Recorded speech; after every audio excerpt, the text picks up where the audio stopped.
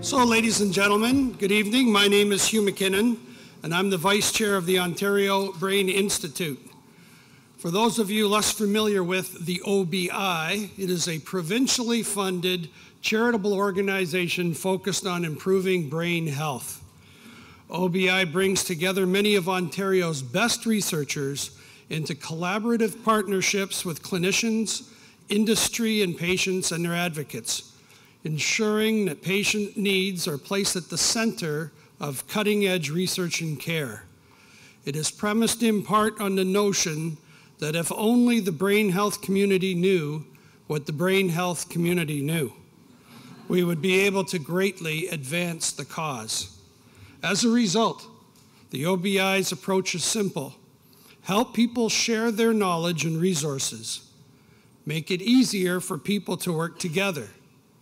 Develop methods so that researchers, clinicians, government, industry, patients, and advocacy groups all work together to create an integrated system that aims to accelerate discoveries, deliver the right care, and improve brain health for all Ontarians.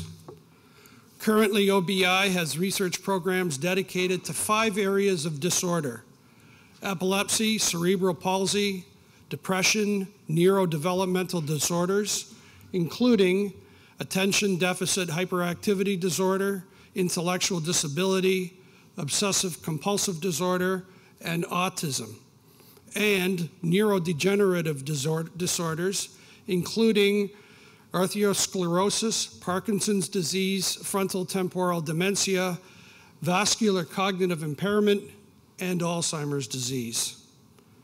Sharing and collaboration are at the root of every OBI initiative, which is why these research programs are set up in a way that allows scientists to work together, commercialize results, exchange knowledge with community-based support organizations, and pool data to enhance the long-term impact of their efforts. The sharing of different types of data is now seen as an essential component of scientific advancement.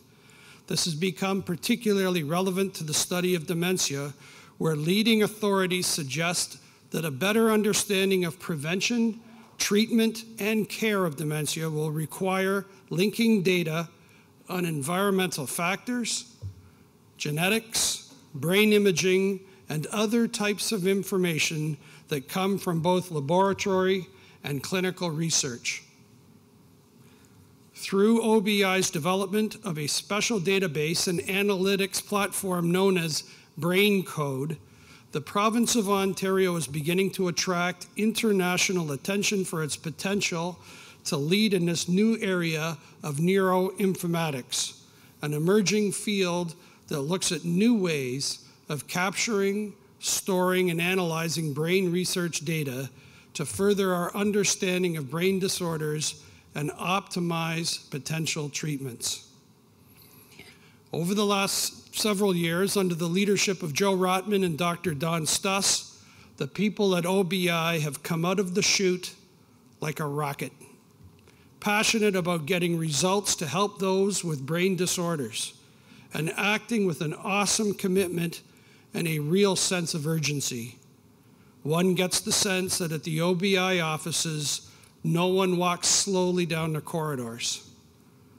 As a result, today, in partnership with the Organization for Economic Cooperation and Development, the OECD, and the Institute of Health Policy Management and Evaluation of the University of Toronto, OBI held a workshop to discuss the value of big data in dementia research and the different ways that it can be shared. The international meeting brought together over 50 leading researchers medical doctors, policymakers, analytics experts, and patient advocates who are all passionate about defeating Alzheimer's. So just as the film festival is winding down, many of the brightest stars in the brain health constellation were arriving here in Toronto. We are grateful to the organizers of the workshop for the use of this beautiful room for this evening's talk. Tonight, we are delighted to see such a diverse public in attendance representatives from the Ontario government, scientists, industry leaders, and advocates, moms, dads, grandparents, and grandchildren coming together with a shared hope for creating solutions to the Alzheimer challenge.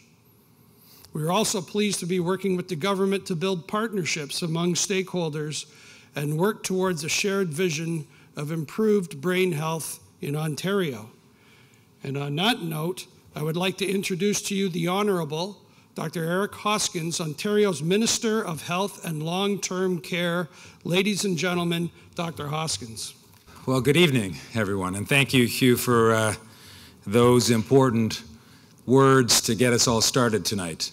I have to say that uh, I'm in absolute awe and a little bit intimidated by the intellect and talent and expertise that OBI and OECD have uh, harnessed together for today's workshop. It is uh, a tremendous thing when we have opportunities like this to bring together really literally the best in the world to discuss issues as uh, important as the one we're about to hear about in a few minutes. And uh, it goes without saying that I'm pleased to be here with you tonight as well for this important discussion on dementia research and care.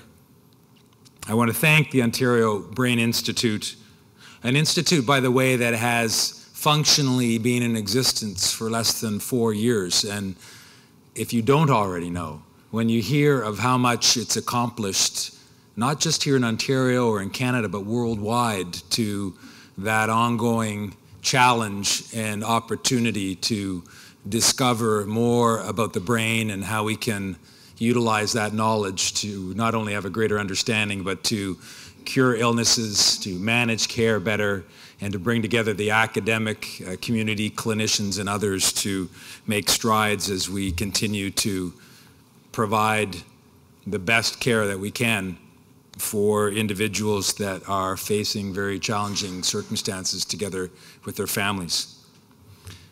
So the OBI is certainly in the upper echelon of those experts. And OBI for us in Ontario has positioned the province as a global leader in high impact brain research, focusing on brain disorders like autism and epilepsy, cerebral palsy, multiple forms of dementia and mental illness, all of which are conditions that have such a major impact on the quality of life of so many Ontarians. In fact, it wasn't until my uncle passed that my family realized that my mother's sister had dementia because my uncle and aunt had carefully orchestrated a way of life where she had become wholly dependent on him and was able to mask from all of us even those uh, early symptoms that we otherwise would have detected of her growing dementia. And so after he passed away, we were struck almost immediately by the fact that she had been suffering for a number of years. And so began that difficult, deeply personal, highly emotional family and individual challenge of living with what turned out to be Alzheimer's until she passed several years later.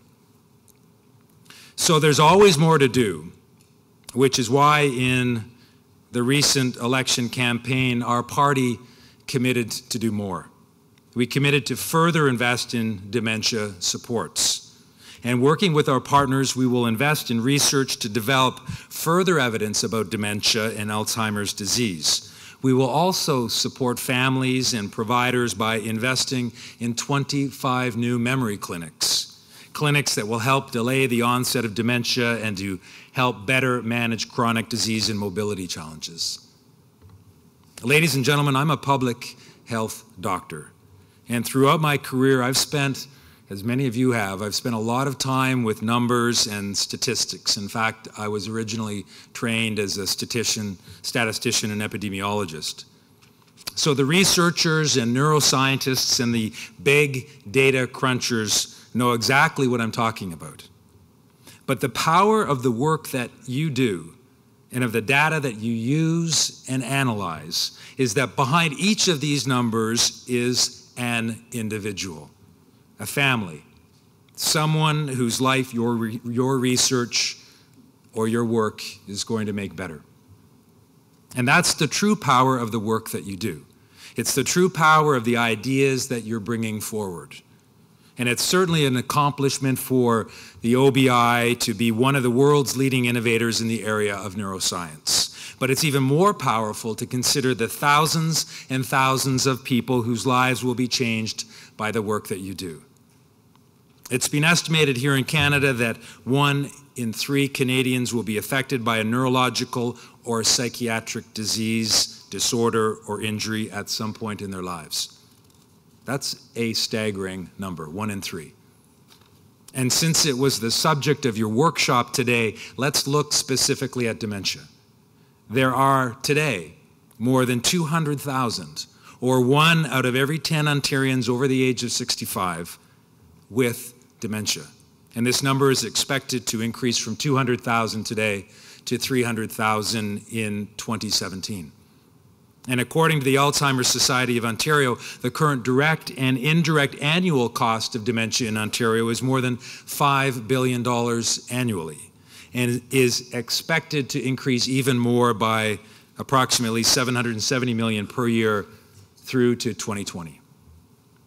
Those staggering costs, however, pale in comparison to the immeasurable cost borne by families and loved ones who struggle to provide care at home for as long as possible. And home, because that's where people, including those with dementia, prefer to remain. We know that care in the community is not only more comfortable, but also more affordable than care in hospitals or long term care homes. And this move towards more community care is an important part of our transformation of the healthcare system in Ontario. And it's a data driven transformation.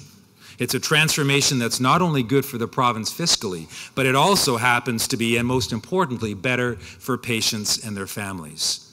It's an innovative transformation, and the OBI's discussions on how best to advance data driven innovation can only improve our knowledge of how to move forward. So I'm deeply proud of the $100 million that our government is providing to the Ontario Brain Institute over the next five years to support patient-focused neurological research. And I'm equally proud of the outstanding work the OBI has done to leverage that funding to raise an additional $100 million in investment from industry as well as philanthropic, federal, and international sources. So, ladies and gentlemen, together with you, Ontario is driving forward world leading, impactful research on brain disease that is bringing increased investments, new jobs, and better health care for the people of our province, the country, and indeed the world. But if I can end on this, and I would hazard a guess, particularly because you're here tonight, probably every one of you in some way has been personally touched by an individual, a friend, a colleague, a relative that has experienced the perhaps the greatest challenge of their lifetime that of a neurological disorder, a mental illness, a brain disease. And so, through that personal experience, you know just how important the work that has been done through the OBI with the support and involvement of OECD, with our colleagues from the United States and other jurisdictions around the world, just how powerful and important and vital this work is. So thank you for being here tonight. I know we're all looking forward to our guest speaker, and thank you for listening to me. Thank you very much, Minister Hoskins, and we are very grateful for your vision and support. I would now like to introduce one of our international guests from the Organization for Economic Cooperation and Development. As I mentioned earlier, the OECD co hosted the important workshop that took place today in this very room. For those of you who are not familiar with the OECD, it is one of the world's largest and most reliable sources of comparable statistical, economic, and social data. Their mission is to promote policies that will improve the economic and social well-being of people around the world. Dr. Dirk Pilat is Deputy Director of the OECD's Directorate for Science, Technology, and Industry. Since he joined in 1994, he has worked on many policy issues which touch on how we draw greater benefits from information technology for economic growth, how to strengthen growth performance in OECD economies, and how to strengthen the performance of various service sectors. From 2006 to 2009, he was head of the Science and Technology Policy Division and was responsible for the OECD's Committee for Scientific and Technological Policy, the Committee on Industry, Innovation, and Entrepreneurship, and their Structural Policy Division. Before joining the OECD, Mr. Pilat was a researcher at the University of Groningen in the Netherlands, where he earned his PhD in economics. We are very honored to have him with us this evening. Ladies and gentlemen, Dr. Pilat.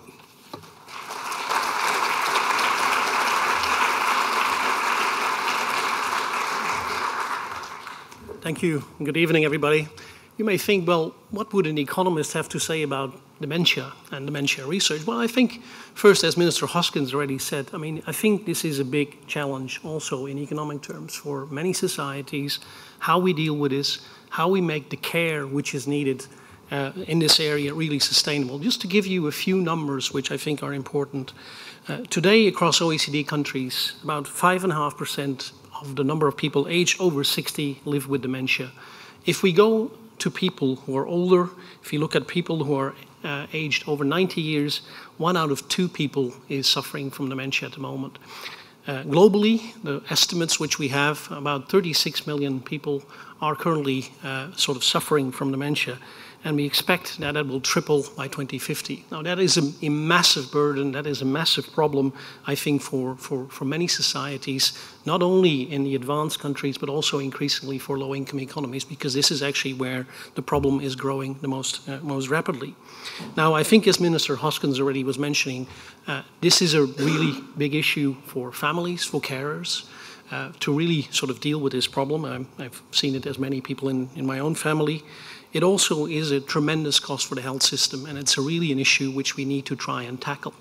And what we're trying to do at the OECD is really look at this from different perspectives. My part of the OECD is really trying to see, well, what can, how can we help develop a cure? What can we do to really sort of gather the, the innovation, strengthen the innovation system, improve the incentives for innovation, gather the research, use big data to try and make sure that we get the innovation which is needed in this area.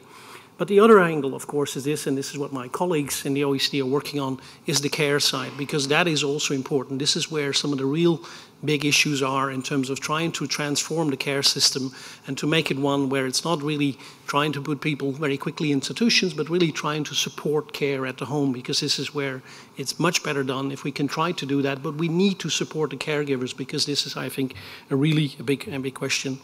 Um, this is a global challenge. I mean, this is one of the reasons why we are involved in this at the OECD. It is a global issue. There's a lot we can learn from each other by working together. There's a lot we can learn by working together on trying to understand the challenge, trying to gather support, trying to really move the agenda forward, and also trying to find international solutions because there are, will be areas where we need to work together in this, and I think this is something we need to do uh, together. I just wanted to, to, to finish by saying uh, we had a very good workshop here today uh, together with OBI and, and the University of, of, Ontario to look at the role of big data. And I think we're, this is a tremendous opportunity to try and bring lots of data together around the health system, around innovation, to try and understand better uh, what is causing dementia, all its, in its, all its forms, but also to try and understand how the health, uh, sort of the care system and improve the care system. So I think there is a tremendous opportunity here. We had a very good discussion. We've made progress, but we need to do a lot more to really uh, to move to, to actions. Uh, I wanted to say finally, um, there is a lot of activity on this at the moment uh, globally. Uh, the G7 last year met uh, health ministers, uh, Minister David Cameron, Prime Minister of the UK, really has been pushing this issue at the international agenda. And there's a tremendous momentum to, to really sort of affect some change in this area. I think we have an opportunity to make uh, things, things, things change, to really uh, work towards cure, which will be a long-term thing, and also at the same time to improve care. So I think let's move, work together on that, and I really look forward to uh, George uh, uh, presentation on this in a second because I think he has a very uh, interesting and very important uh, contribution to make to this discussion. Thank you very much, and I look forward to the discussions.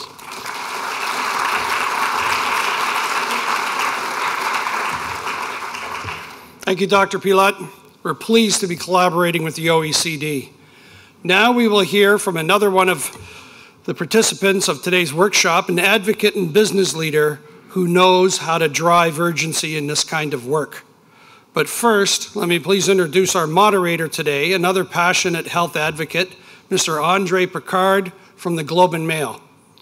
Mr. Picard is an award-winning health journalist, best-selling author, and renowned speaker who believes in improving the health of Canadians. He has been with the Globe and Mail for over 20 years and is widely considered the top health journalist in Canada. His research and writing provides alternative perspectives and insight into everyday health challenges through the eyes of patients, healthcare workers, and caregivers. His high quality reporting has been acknowledged with numerous awards. He was also named Canada's first public health hero by the Canadian Public Health Association and a champion of mental health by the Canadian Alliance on Mental Illness and Mental Health.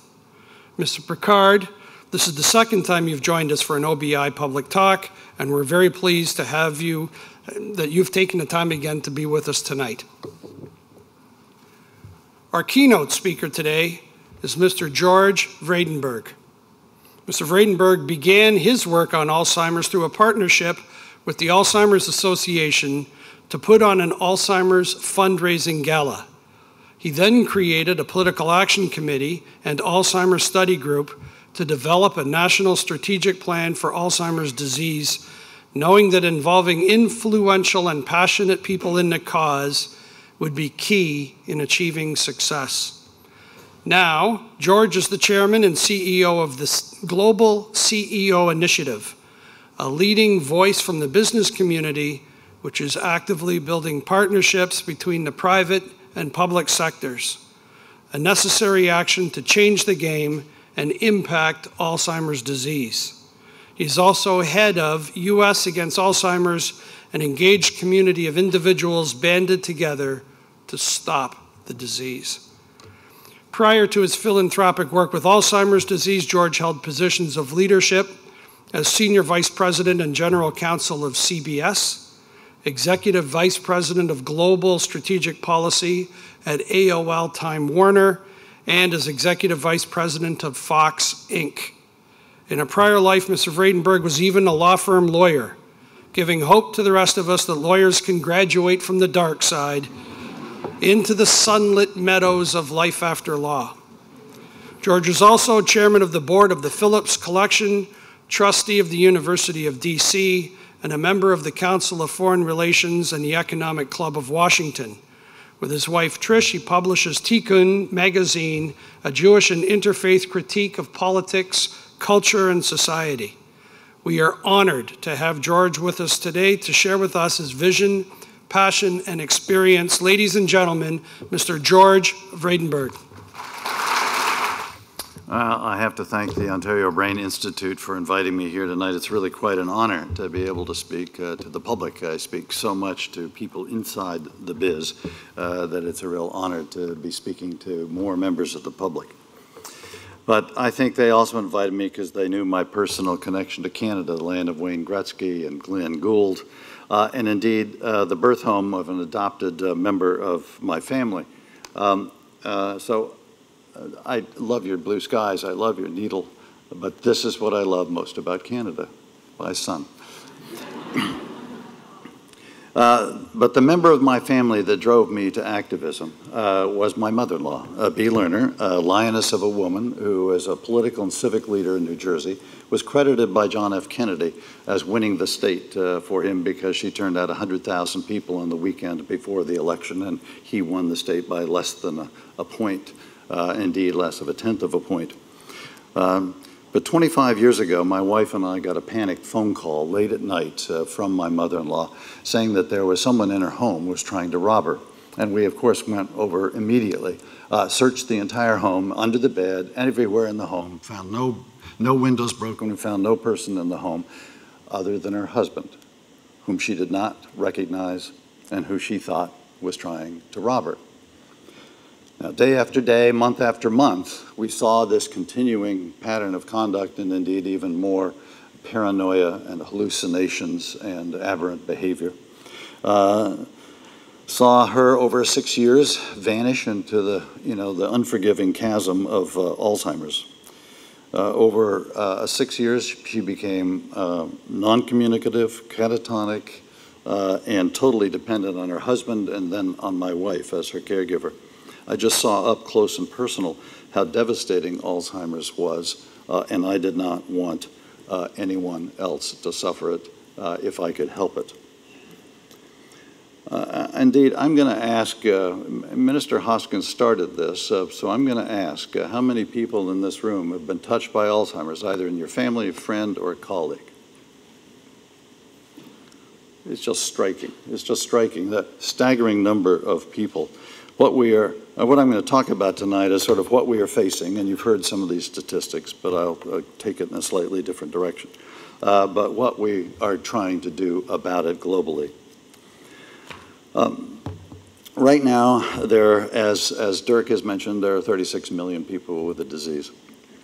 Uh, that's more than HIV AIDS. It's more than those with chronic heart disease. That's more globally than those with cancer. But strikingly, that implies there are over 100 million caregivers.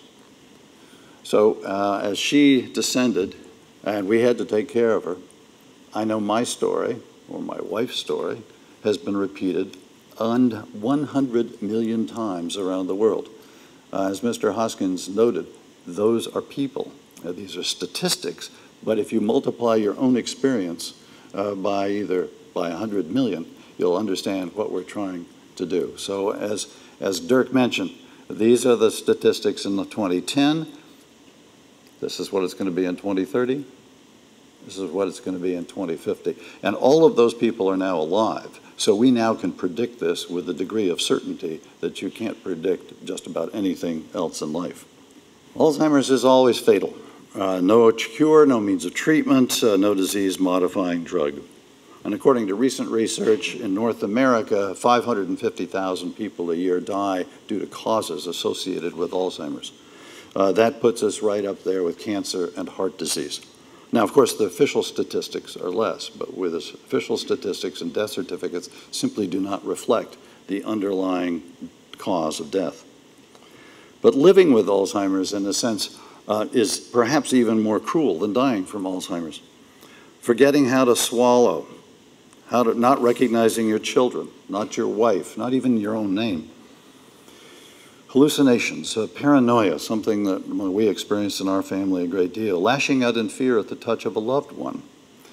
Um, dependence on a child for the most in, in, intimate of care, eating, showering, toileting. I just cringe at the notion that my children will be changing my diaper someday.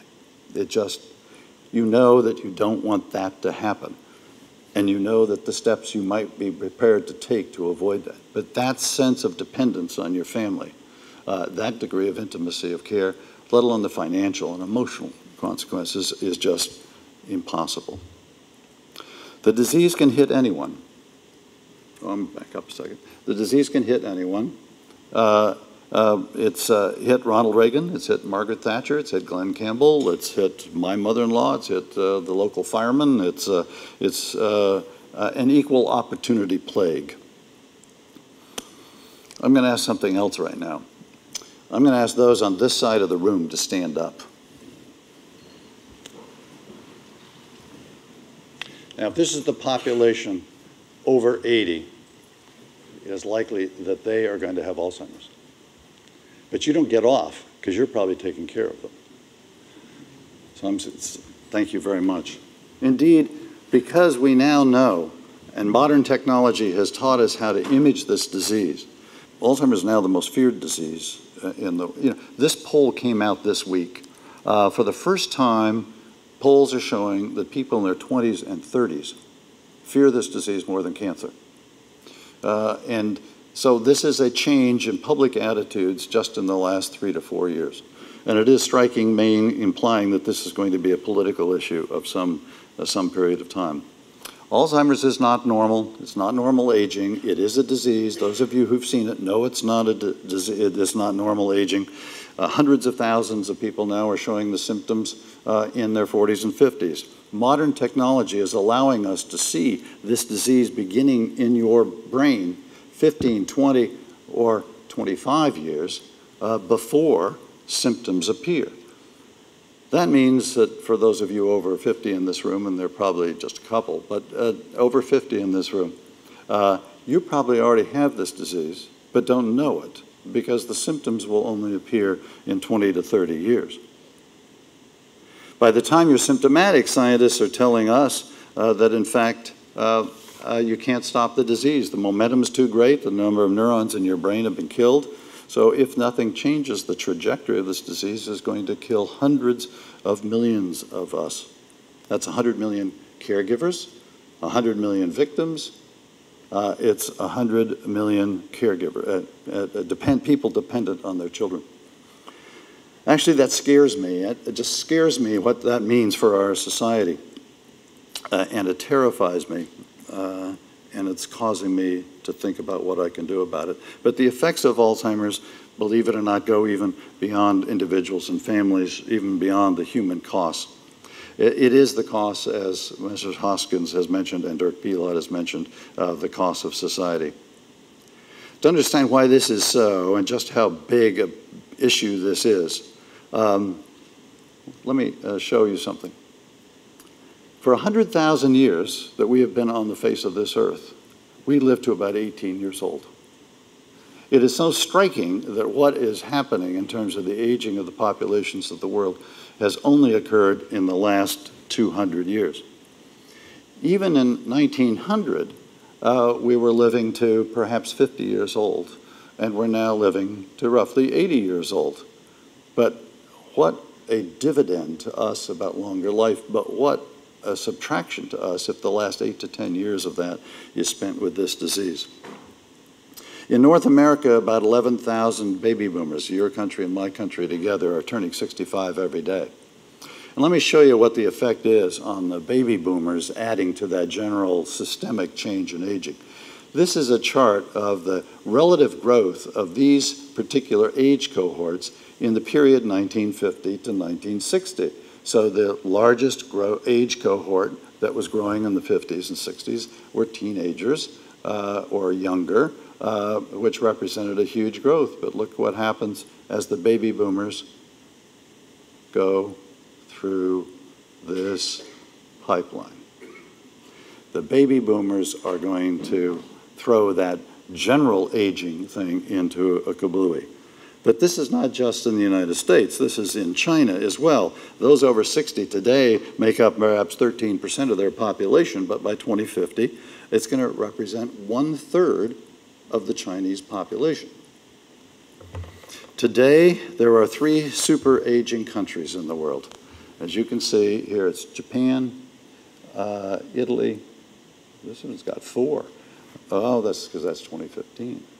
No? Okay, there are, this has a chart, this chart has four on it. Japan, uh, Italy, Germany, and that is Finland, right?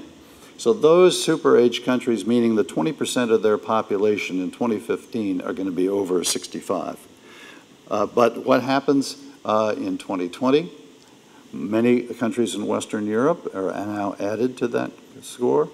You get to join them in 2025 with 20% of your population over 65. 2030, we join you, but Western Europe, the United States, Japan are all super-aged countries.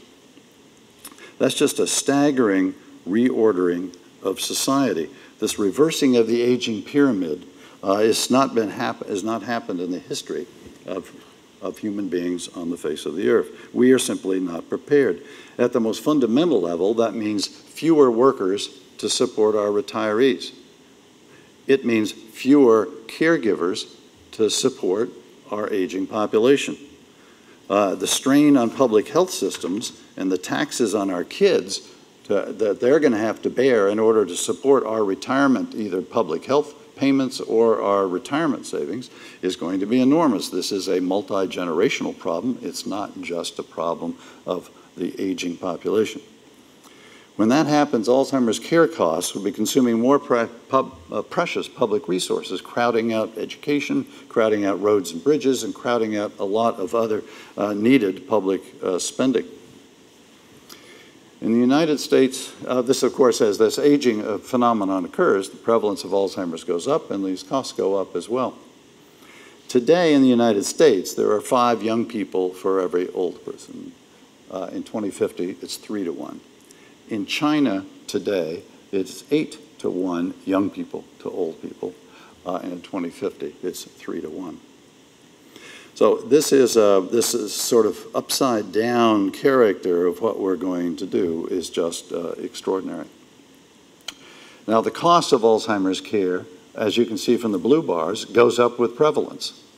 So in the United States, as you can see in 2050, our cost of care uh, for those with Alzheimer's is going to be $1 trillion a year. Now, our defense budget, obviously much too big, but six or seven hundred billion dollars, we're going to be spending more in six months trying to attack ISIS than we've been spending over several years on trying to cure biomedical research, uh, diseases through biomedical research.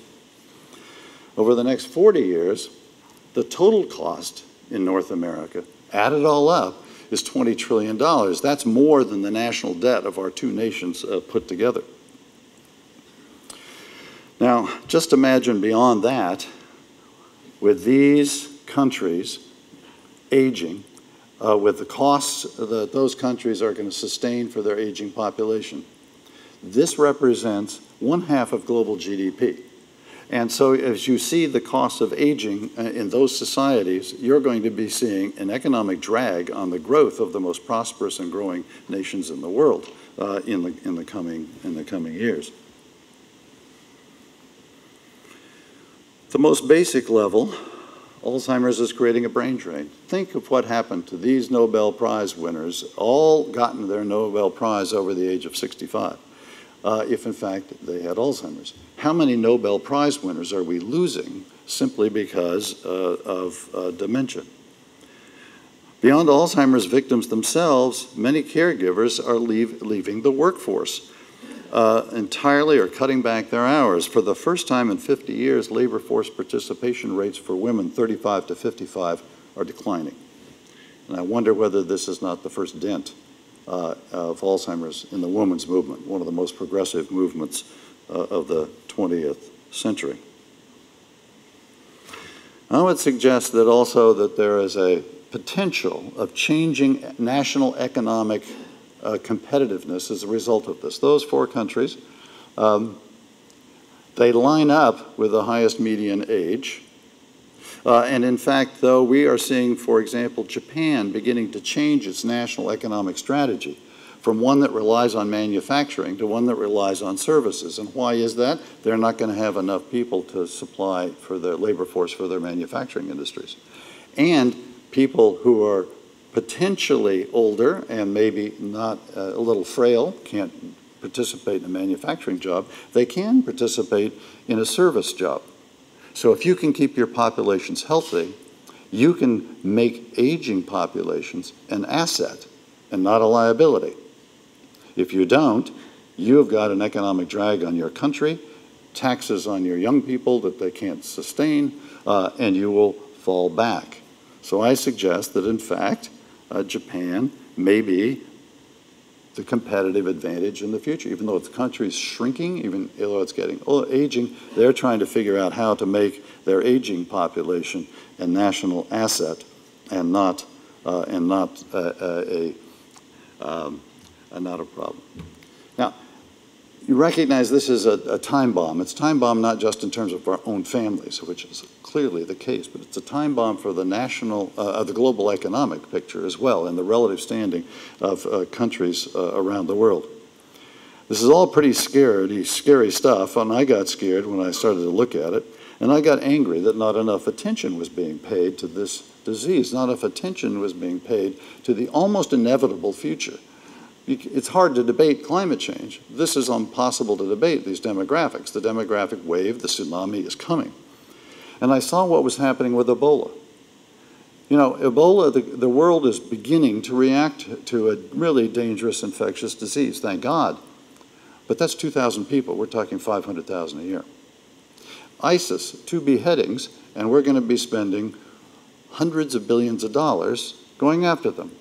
Probably the right decision but could you imagine if ISIS announced that it was going to kill 500,000 Americans next year with the kind of mobilization of resource that we would mobilize against that? That's how many people are going to die of Alzheimer's. So I got, I, I said I got scared, but then I got angry. And I wondered, why wasn't there any passion? Why wasn't there any anger? Why wasn't there any leadership uh, to really say, we got to solve this sucker? So what the hell? We don't have to be bystanders uh, uh, to this disease. We can act. Each of us can act. We know we can tackle major diseases. We've done it in the past. Uh, we know that we have gotten rid of polio. People. AIDS. Largely manageable disease. Heart attacks are down. Many types of cancer being arrested or managed. It's because Women have mobilized against breast cancer. The AIDS activists mobilized against HIV AIDS. The American people were the test bed, 400,000 kids for a, a, an experimental polio vaccine. We've conquered these things before. Now, I say we, so what do I mean by that? Um, what did I do uh, when I started this off? And I'm going to take a moment just to describe my organizations, uh, but uh, I got to emphasize that uh, our theory uh, here has been one of collaboration. And there are thousands and thousands of organizations and people, millions of people around the world that are after this disease. But I'll tell you what, what I did. Uh, believing that this was a team sport to beat this disease, I formed an organization, not US against Alzheimer's, but us against Alzheimer's, or breast cancer. Um, us against Alzheimer's because I thought it was going to take all of us to go after this disease. So, in a sense, we are a venture philanthropist uh, that has basically invested our money in whatever mechanism we can and however we can do it in order to go after this disease. We brought together scientists, we've brought together a number of collaborative networks uh, around this. Um, we believe in collaborative action, we believe in urgency, and we believe, therefore, in action, so that it's not just collaboration, not just nice meetings. It's after every meeting that we've held at the G8 Dementia Summit, at the UK Legacy event, uh, at the Canada France Legacy event last week, and tomorrow after this event today, we will sit down with a, a, a subset of the people who attend those conferences and say, okay, what is the action that is occurring as a result of this meeting? And who is going to be responsible for following through and taking action on it? Because you can confront these staggering statistics, and however you look at them, if we're not acting, we're basically being irresponsible. So we're made up of two major coalitions. Uh, a global uh, CEO initiative has been mentioned. This is now a companies from Takeda on the one end of the world to Roche on another end of the world, and we're recruiting in China as well as India uh, companies uh, to participate in this coalition. And we set out to agree with the national plan in the United States, now the G8 plan of trying to stop this disease by 2025. And we said, we are here as industry. This is sort of a patient-powered industry coalition. But we're here as patients, we're here as industry to say, we'll join forces with you to try and stop this disease by 2025. The leaders against, excuse me, the leaders against Alzheimer's disease, leaders engaged sorry, leaders engaged in Alzheimer's disease, U.S. rooted organization, now 68 uh, Alzheimer's serving organizations in that, uh, and it is the unified voice of the movement inside the United States. Um, these are networks that we've set up of uh, those in society we believe have been disproportionately affected or disproportionately uh, engaged in this. So women, I have found women in my life, at least in my mother-in-law and my wife, uh, women drive things. Uh, women uh, want to accomplish things. strikingly, uh, Alzheimer's was first identified really as a real disease in the very late 70s, early 80s. HIV/AIDS uh, was identified, first patient, 1981. Uh, the first meeting of the Susan G. Komen, first event for Susan G. Komen, 1981. Alzheimer's Association, 1981. Breast cancer, that you don't touch that issue without American women and women around the world mobilized. HIV AIDS, definitely a movement that has really led to a manageable disease. But in Alzheimer's, we haven't had that passion. Now, why? My guess is that, in fact, the victim can't speak for themselves. Uh, that, in fact, the caregiver is too exhausted to be speaking for them. So it's really our responsibility to step up and be their voice. Uh, so four lines of attack. Uh, at the outside, let me at the outset, let me say uh, that in the immediate term, uh, there aren't going to be any drugs on the market likely until at least 2017. I start that with a negative, but just to be candid, I don't think that we're going to get a drug uh, by 2017. There are drugs in the late stage pipeline, though, that, uh, that are there and will be before regulatory agencies around the world after they finish their stage three trials. They will be in front of regulatory agencies uh, by 2017. And my own estimate is there's a reasonable possibility we'll have a first generation drug by 2017. It'll probably be expensive. It will probably be of limited impact, but it will be a disease modifying drug and it's going to trigger additional investment in the field, and we're going to need it. So let me uh, talk about the four central themes uh, that are going after, uh, uh that we're doing at a global level. First, mobilizing resources, both public resources as well as private resources, because the investment in this space has been so um, uh, anemic. Uh, this represents United States numbers. I apologize. I should have included uh, Canada in these numbers, but cancer receives investments of about six billion a year, heart disease about three billion, HIV/AIDS three billion, and, now, and as an additional, the United States makes a six billion dollar a year contribution to infectious disease global funds, um, and Alzheimer's at 550 million. Now, that level of scale of investment is simply not going to be sufficient to, to get at this disease. Uh, but I, uh, and will fight for additional public research investments here and around the world. Canada has upped its investment, the UK has upped its investment. We're moving marginally in the United States, but there clearly is, we're under scale at investment. Um, uh, but I think we also need uh, investment and global funds, funds that are not limited to a country, funds that will go after uh, the best global work, not necessarily the best work in my country. Uh, not just uh, work in my national boundaries, looking outside the box rather than in the same inside the box thinking that we've had for so long on this disease. So I think we need to diversify the public sources of funding. In addition, I mean, if you just thought about it, uh, there's roughly $600 billion that this, uh, uh, that this disease cost the world in 2010. If you simply took 1%, 1% of that, uh, public funding should be at least at a $6 billion a year funding level globally, uh, at the very least. We've got a long way to go. The WHO is getting involved to try and identify the gaps in the research so that we can, in fact, bring uh, levels of research uh, funding up. Uh, but uh, public research funding is necessary but not sufficient. The amount of research investment or drug development investment is by private industry is about five to six times what public research spending is. So that if one could double the level of funding or triple the level of funding, uh, actually trying to encourage greater investment by industry is probably even more productive or at least as productive as simply raising public research funding. So that's why we need some global fund mechanisms that are largely private driven. That is to say, private money perhaps de-risked by public money, but that invest in early stage startup companies anywhere in the world, that invest in, in later stage development of assets and later stage development of therapies to de-risk this for private industry so that they will invest more in this space. This is important because the time, cost, and risk now of getting a drug to market is so great uh, that for-profit investors are leaning away from investing in, in companies that work in this space, notwithstanding the extraordinary market that is there. So this risk-reward investment equation can and must be changed so that we can get more investment uh, working there. That work is actually going on, um, uh, motivated by the UK, who's retained JP Morgan, and we're working at the World Dementia Council on a variety of global mechanisms that will try to evoke greater private investment in this, in this theme. Uh, the second uh, line of attack is really to try and increase the volume and velocity of drugs that are going through the pipeline. So just a brief word on this. Um, uh, Alzheimer's Disease Neuroimaging Initiative in 2004 is a longitudinal study that basically has followed 1,000 to 1,200 people now for several years. And what we learned out of that uh, was that, in fact, this disease started way before symptoms occurred.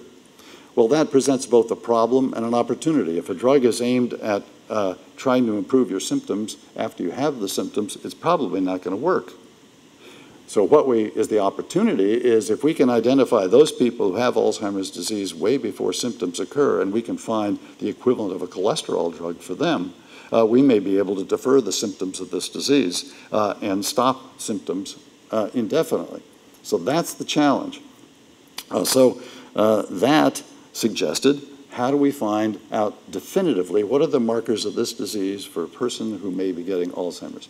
So AMP, what a terrible name, Accelerating Medicines Partnership, is a government, industry, foundation partnership which is designed to do two things. First, uh, it's designed to put a lot of biomarker technology in existing trials so that we really identify what are the markers uh, that are occurring inside your bodies or inside your brains um, uh, way before symptoms appear so that we can identify then who we ought to test new drugs on so that we can see whether a drug will work in deferring the symptoms of the disease.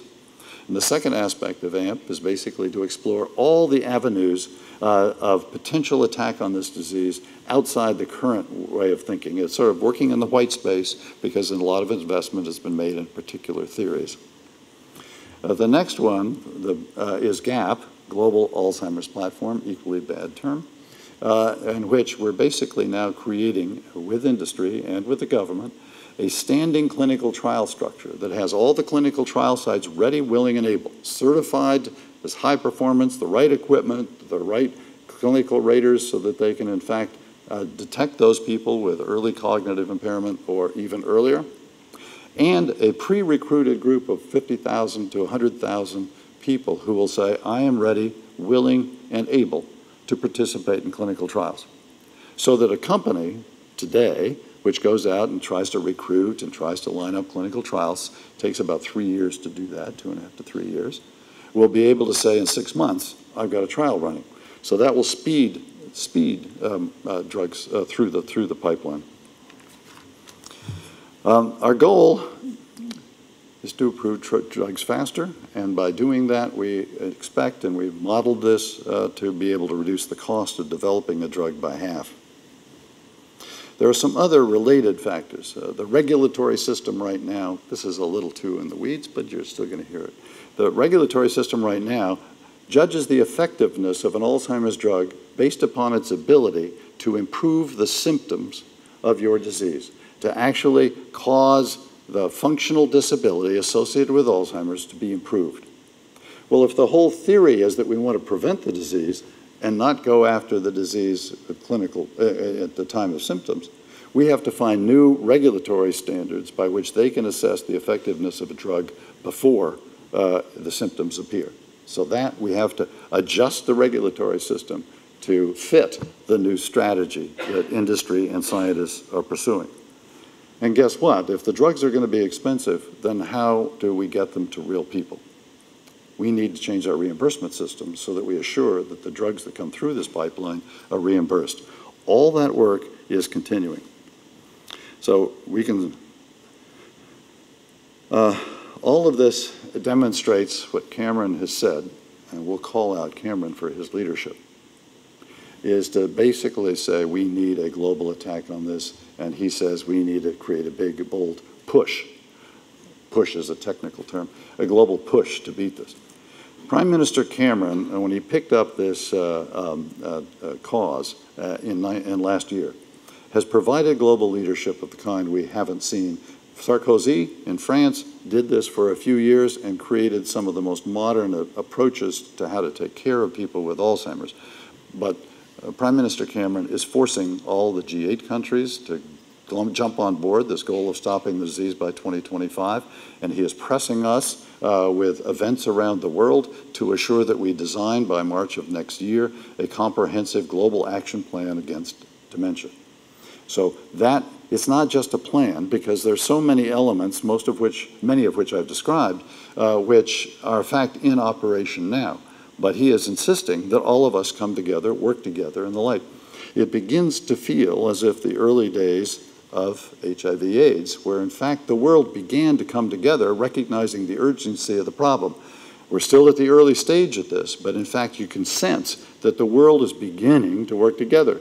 Today's meeting, chaired by Dirk Pilat, uh, is another example of that. The OECD is an organization that represents 34 countries and has some associate members that go beyond that. So this is now not just the G7 or the G G8, Russia misbehaved, it's a G7, uh, but it's also now uh, the OECD is on board and the WHO is on board. The third broad theme and area of attack is open science. This is trying to change the culture so that increasingly we share data uh, uh, between companies, um, uh, between science and, and, companies in a much more effective way than we have, and that was the subject matter uh, of what we talked about today.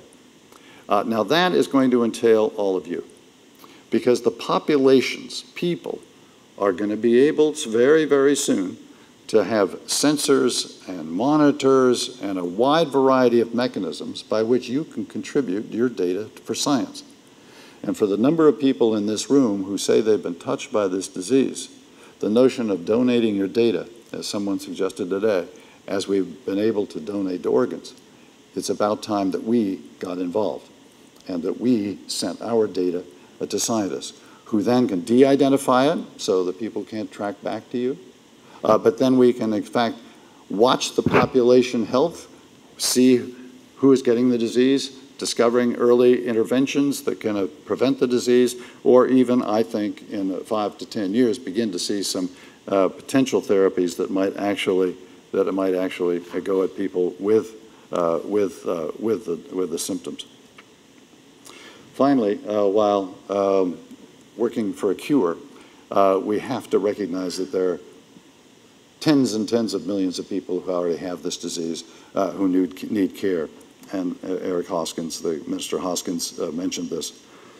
We have to take this on as our fourth major attack against this disease. Uh, the performance standards of how we are caring for people with this disease do not exist. Every uh, local assisted living center, a home health care center, and the like is operating on its own. But we really do need very systematic ways in which we can set in place quality care uh, planning standards, quality care delivery, and then actually assess our ability to deliver better care to people, better outcomes, to keep people more independent. So Scotland took this up initially. Japan is going to take this up uh, in November, uh, and uh, Global CEO Initiative is working with our um, AARP are uh, basically over 50 um, uh, organization that uh, represents people over 50. We're taking it up in October. Uh, at the same time, as I said, uh, we have to mobilize people. Uh, people make a difference, make a huge difference. As my friend says, who is a caregiver, has been a caregiver for 20 years, we have to flip the pain the pain of caregiving the pain of a victim and seeing a loved one lost to this disease, we have to just not accept the pain. We have to flip it into mobilization and, and action.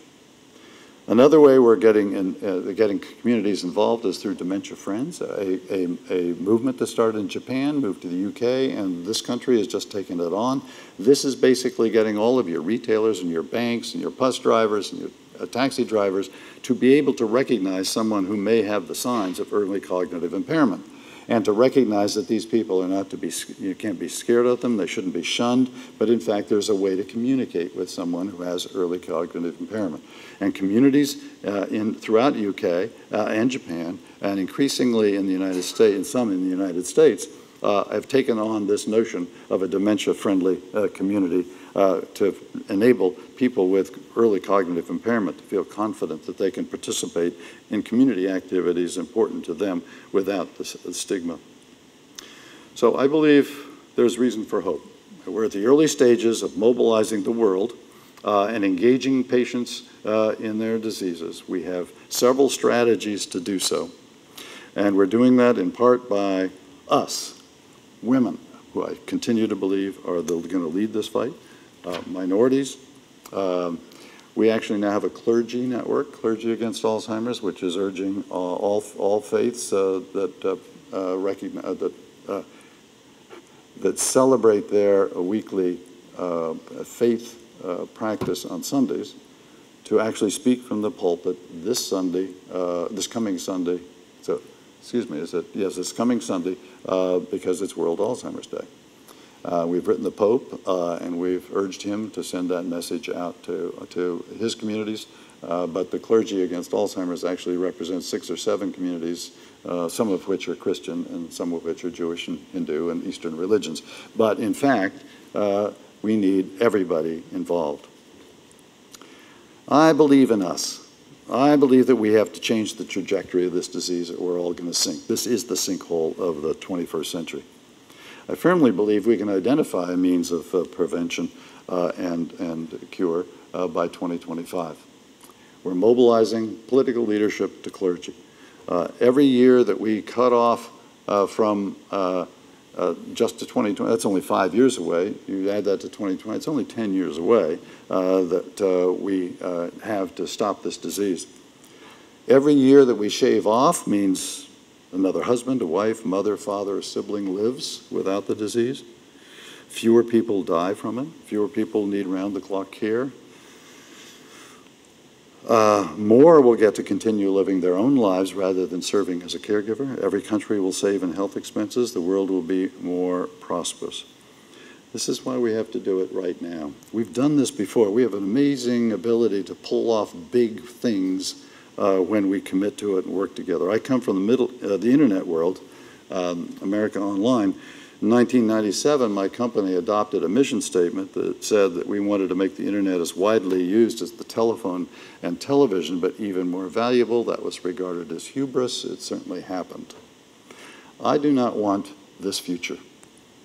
We can change that picture, but only if we act. Somebody recently told me that there is only one degree of difference between 99 degrees centigrade and 100 degrees centigrade, but that's a difference between water and steam. I know we can stop this disease, so let's go make steam. So thank you very much. Uh, you started your presentation, and I'm guessing you start every talk you give with a personal story. Uh, everybody here is touched. Uh, I had two parents who died of dementia. We, have all been touched by this. Do you, do you think we're doing a good enough job of getting those stories out, of using those stories to influence policy the way we've done with cancer and with AIDS and so on? I think the answer is no. I mean, we have a Facebook community of several thousand people who are talking, telling their story to other caregivers. Um, how to get politicians to listen to stories is to get people uh, from the community into politicians' offices. Uh, it is to have them visit the politicians when they go back home uh, to, to, to sort of participate in their community activities, raise funds, or otherwise visit their constituents. Um, I think people regard it as personal. I think people start by thinking, I want to preserve the image of my loved one in a healthy state. I'm finding this very awkward to talk about. I think it's difficult for people to talk about. The fact that everybody raised their hands you know, I think people maybe feel free to tell their stories to each other here tonight, but to actually go to a politician and say, I want to tell you my personal story of my mother, it's an awkward thing to do. And I think that's one of the inhibitions. Now, the gay community got over this, right? Uh, at one point, it was a pretty private matter, and then they got angry. And then they told their story, and boy, did they tell their story. And the telling those stories to political leaders or to your community leaders. It doesn't have to, you don't have to go to, to Harper to tell the story.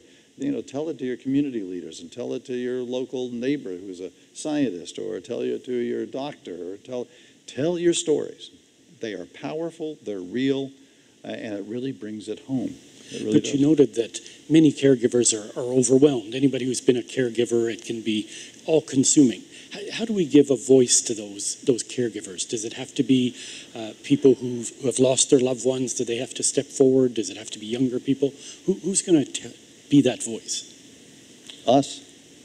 I mean, it's us uh, against Alzheimer's, but it's us uh, uh, because it sounds like everyone uh, in this, most everyone in this room has a friend, a colleague, uh, or a family member. So there's a story there. And well, how many uh, people have actually told your story, your personal story, to a political leader? No, no, nobody. And so what, what, what's the inhibiting quality? And then we can ask that in the discussion group, but why aren't we telling our stories to the people might, who might be able to change? Now, it's not just political leaders, it's industry leaders, and it's uh, the Alzheimer's Society. Join the Alzheimer's Society of Canada. They can be your voice, they can be your vehicle for giving voice to you. Uh, but still, it is a very personal, passionate impact of this disease on a family uh, that really does change politicians' minds. Now, the other question is we know almost to a statistical certainty that one third of our political leaders at the provincial level or at the national level have Alzheimer's in their family.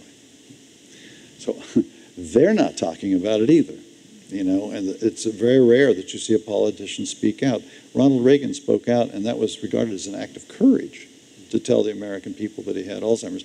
And then his wife, essentially wanting to try to preserve his image as the, as the guy who took down communism, really did not bring him out. You did not see the last 10 years of Ronald Reagan's life. It would not be pretty. It would have destroyed his image for history.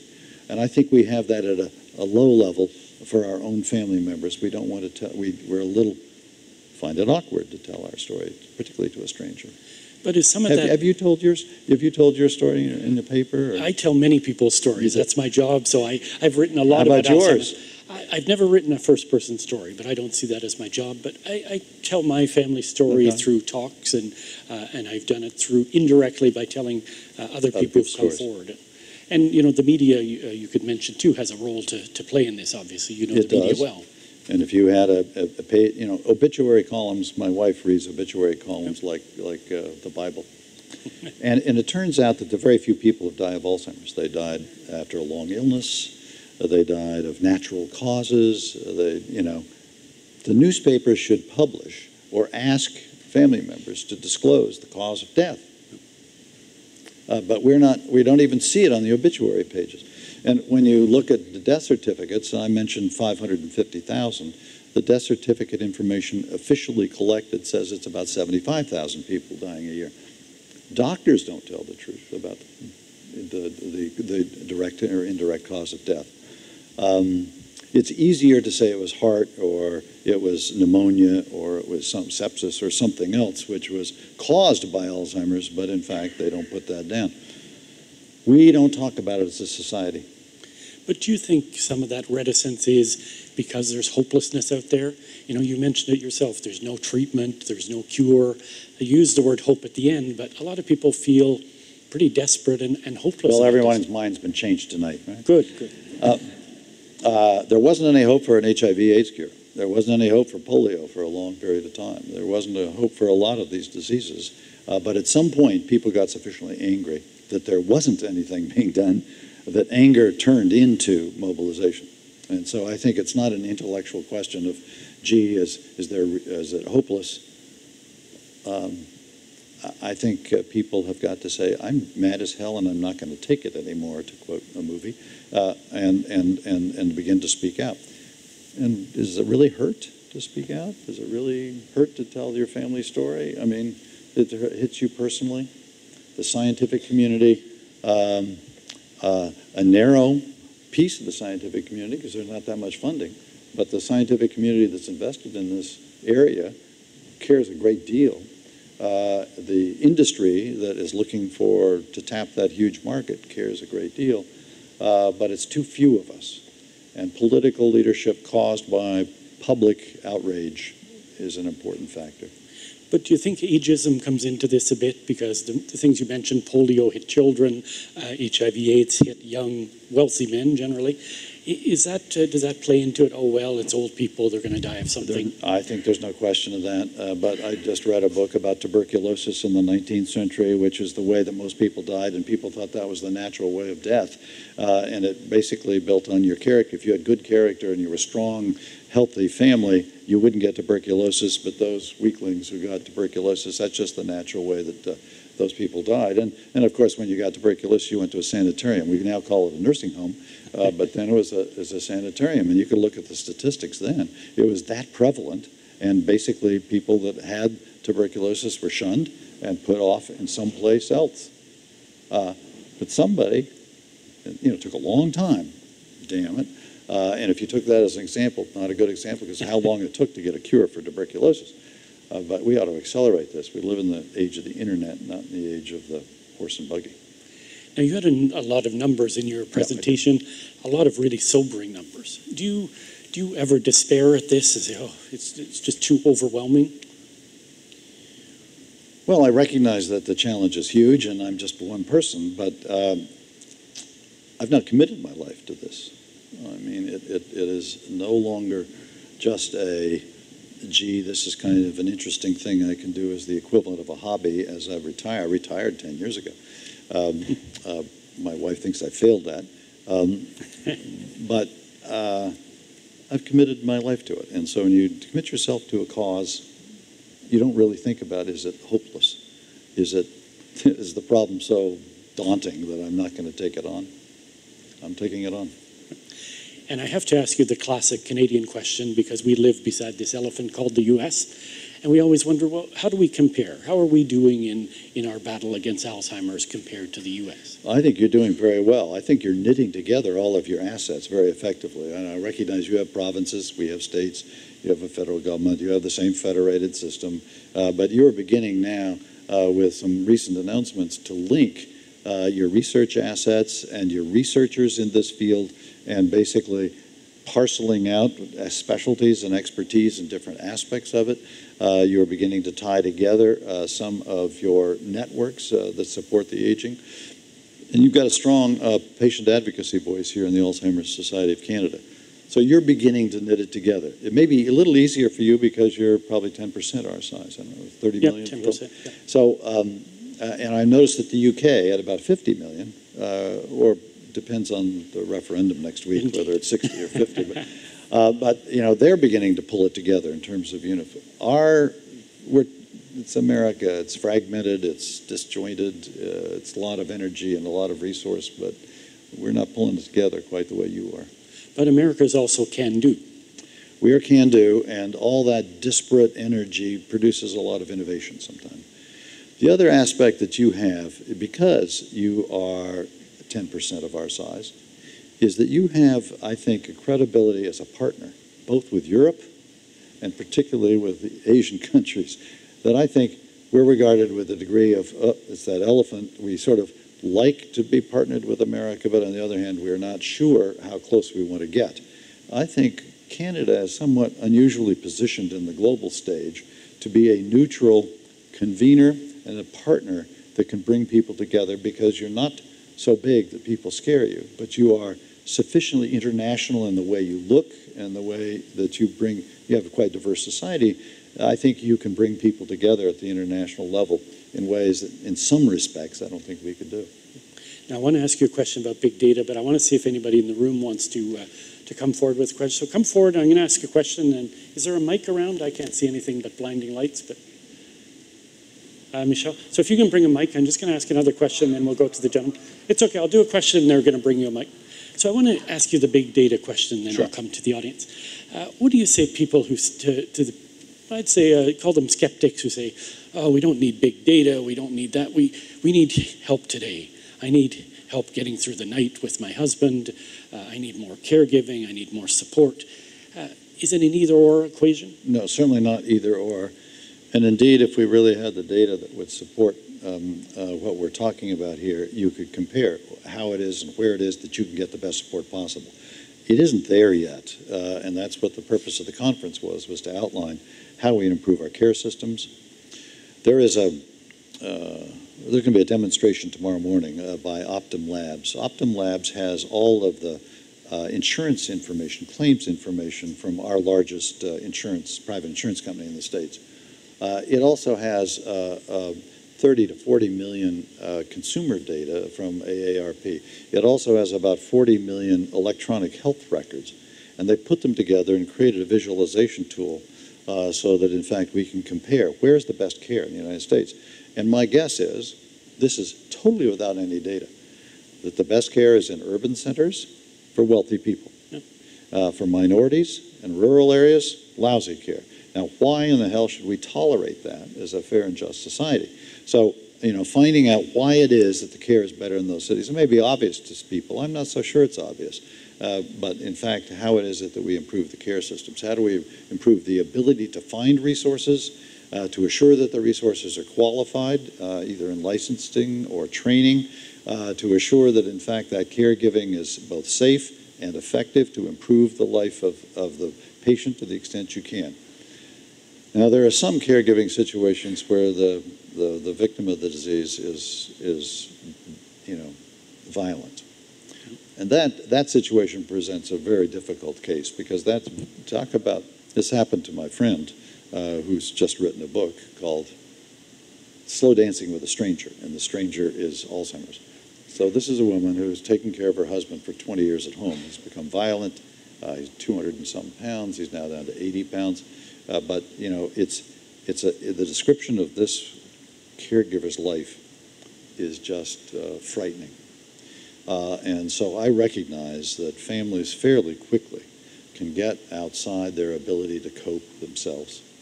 Uh, but we need to provide them the best mix of services and adult daycare or nursing home or assisted living care that we can.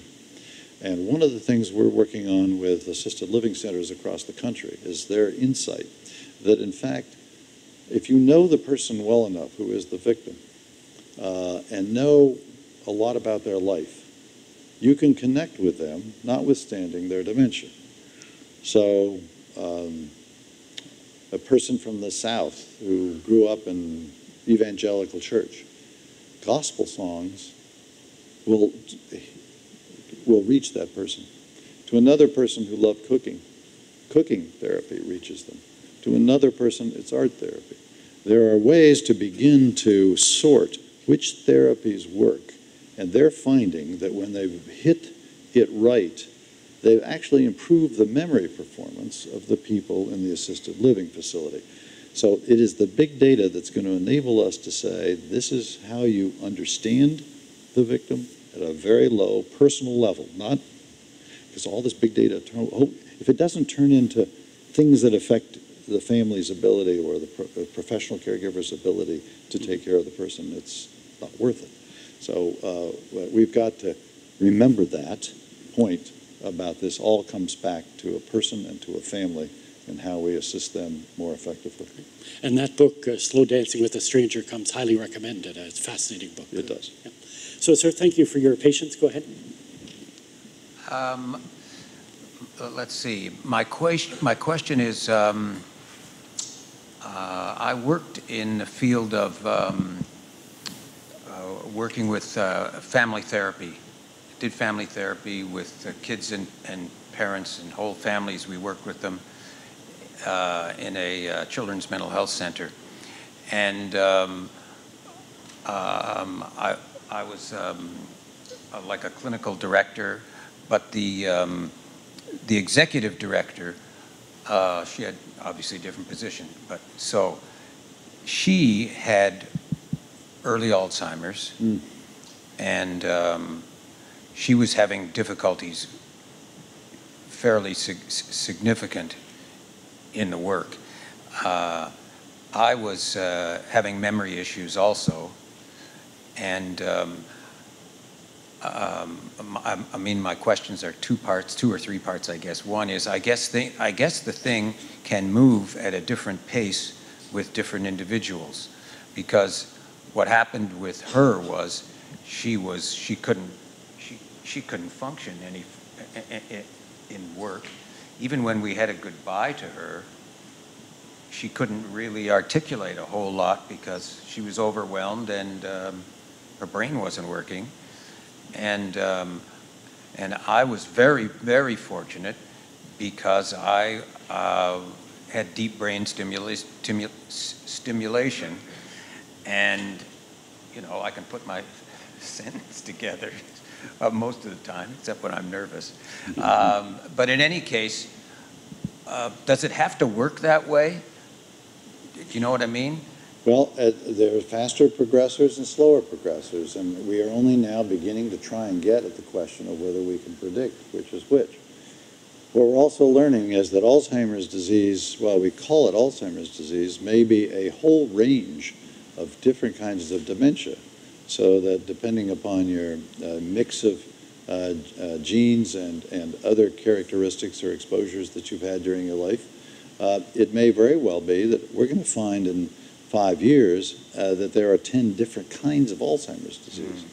Right now, there are more than uh, uh, the causes of dementia are more than just Alzheimer's. There's frontal temporal lobe, there's cardiovascular disease, there are a variety of mixed dementias, and we're slowly beginning to subdivide this disease category into smaller and smaller pieces, which means it's a harder and harder disease to get at because that may mean that medicines only work for certain slow progressors or fast progressors or certain kinds of dementia, not other kinds of dementia.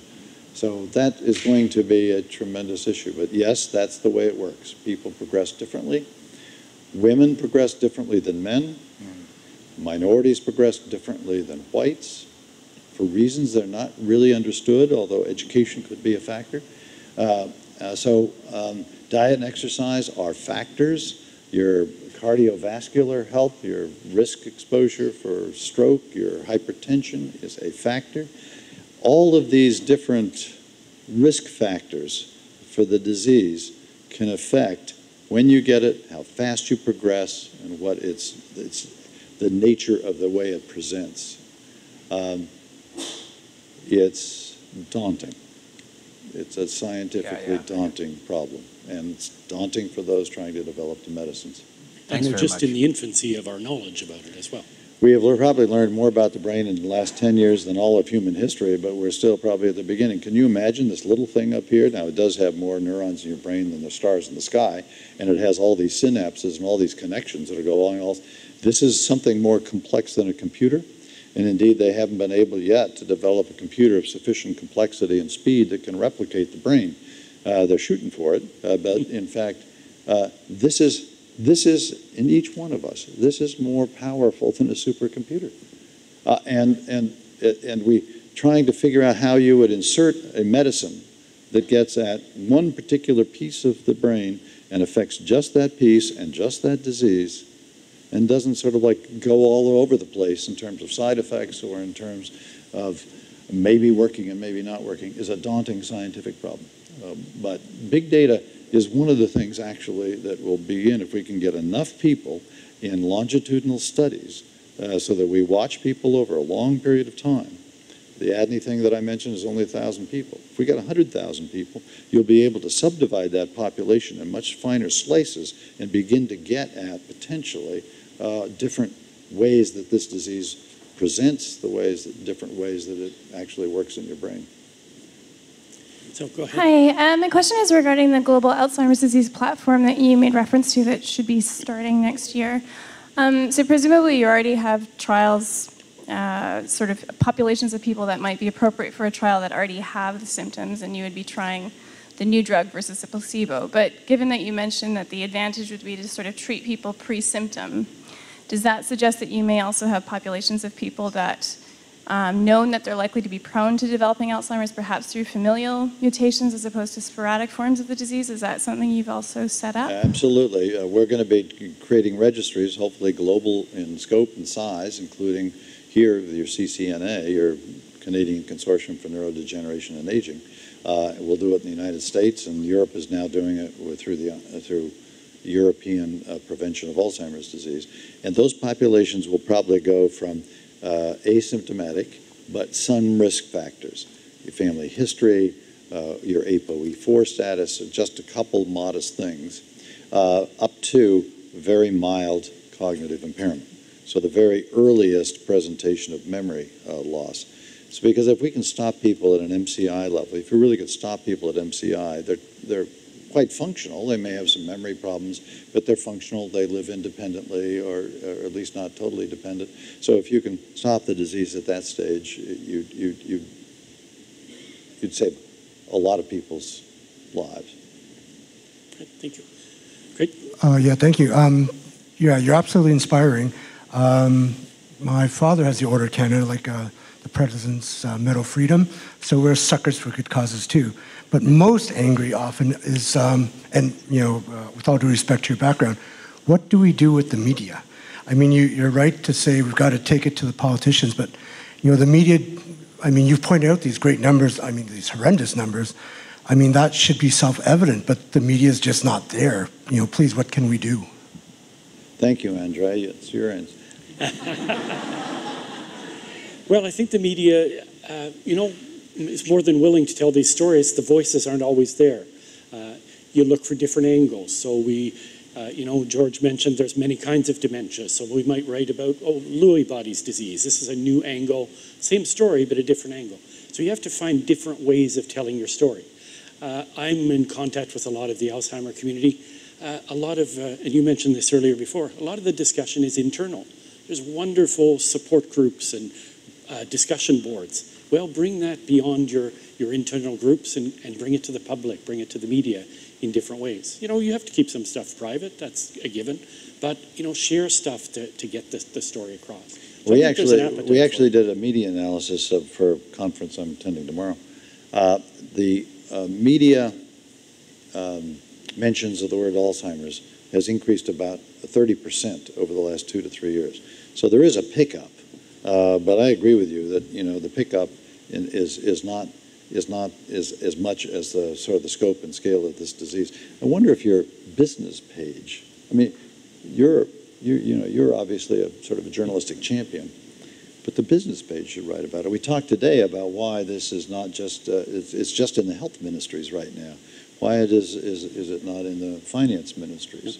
Um, and, uh, you know, at the top echelons. In, Ch in Japan, is shrinking and skewing old dramatically, they're sort of the canary in the coal mine. This is the topic of national economic strategy. It's not yet, I don't think, in your country, in my country, uh, at that level. Yeah. And it should so, so our coverage of mental health issues grew dramatically when the business community got involved, when they oh. recognized this is the number one uh, cost in disability, uh, absenteeism, etc. And I think we haven't had that discussion yet about, about Alzheimer's. What's the impact uh, of presenteeism because caregivers are overwhelmed? But that's another example. If we can get data on that, that becomes a story that will generate a lot of interest. Now, I'm over time and I'm going to get in trouble, but uh, let's go to one more question. Okay, uh, I wanted to pick up on your response to this gentleman around the question of risk factors and um, propose to you that you might add a fifth theme to your uh, presentation, and that has to do with risk reduction and prevention.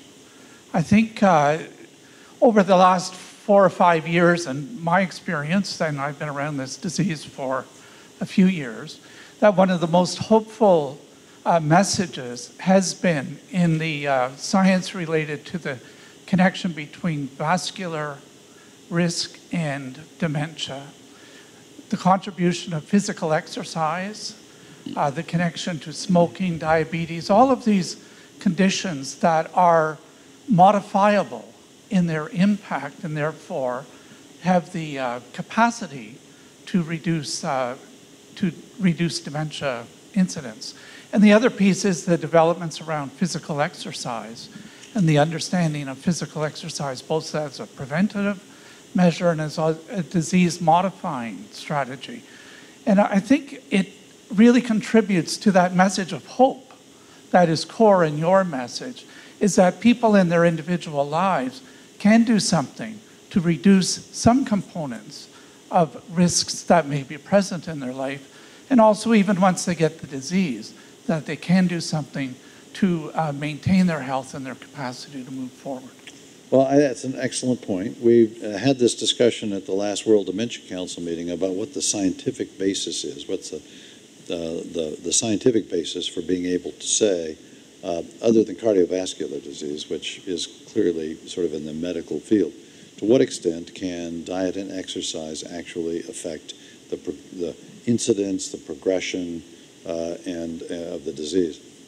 Uh, and the scientific community is not all there yet uh, in their belief uh, that uh, the diet and exercise can have that much effect. Um, but we're going to consider this in our October meeting as to whether we add this as sort of a fifth element. It's very much a live topic. I'd also say this, and the question is who do you message this to? Because we've been messaging the importance of diet and lifestyle for cardiovascular risk, for diabetic risk.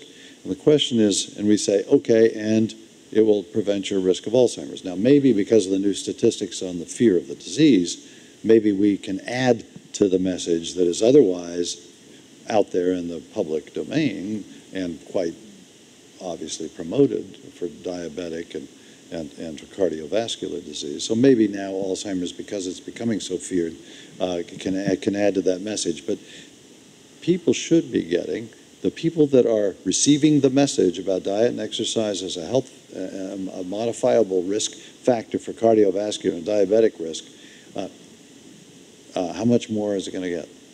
How much more weight can we add? Or maybe uh, Don Stuss can send you home tomorrow with the uh, report from the OBI last year on physical uh, exercise. Okay. You can read that. I, he's Yeah. going to do it. Okay. Can we squeeze in one more question? One, one little one? Okay. It better be a Thank- good thank one. you. Um, The presentation you made this evening showed the, um, the, the incidence of cancer and HIV. Right. Alzheimer's, and then the imbalance in the spending and the research. Right. And it, it makes, it makes me think that that might be a story, that, that there would. But I also, but I also want to ask if, um, excuse me for just a minute. I, I believe that if those other, if representatives from those other disease organizations were here, that they'd be thinking that that was poor form. That it, that, that polite people don't compare diseases in order to secure resources. I see Mr. Picard smiling. I, I, I, I wonder if you've ever had that experience when you talk about, about the prevalence of the diseases, whether people's response is to say, you know, that's, that's just impolite. That's, No, it's, uh, it's all tragic. I, I, uh, I obviously did not communicate well uh, when I used that chart. I was saying, because we've invested in cancer, because we've invested in AIDS, because we've invested in heart disease, we're beginning to make a significant impact on the number of people who die. Not that money should be moved from them to us, but that in fact, if we could invest at the levels that we're getting, we might be able to get the same kind of results that they got. So I definitely want to make clear, we do not advocate subtracting money or investment from these other diseases. Uh, they're all killers. Uh, they all need a cure. Uh, you know, and so I, I, I'm glad you asked the question so I could be clearer about what I was intending by that chart. It, we want investment at the same level. We don't want to take away investment from anyone.